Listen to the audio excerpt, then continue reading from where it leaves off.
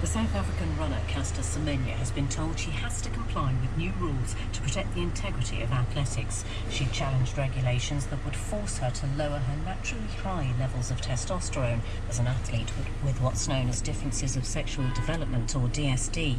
Her appeal was rejected by the court that settles such disputes. The Olympic medalist Sharron Davies, says the rights of other women competing must be considered. The first three at the Rio Olympics, the 800 on the track, were all DSD. The first three. And there are agents in Africa at the moment who go out looking for young girls that are DSD because they can sign them up and make a lot of money out of them. So it is a problem. At the moment, women's sport is not being protected. Um, it's just not fair. It's not a level playing field. Former black